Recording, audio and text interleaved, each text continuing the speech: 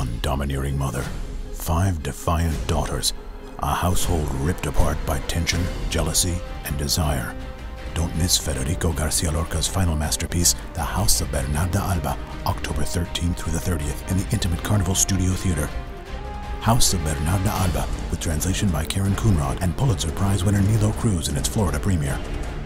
Get your tickets now for this limited engagement at arshtcenter.org.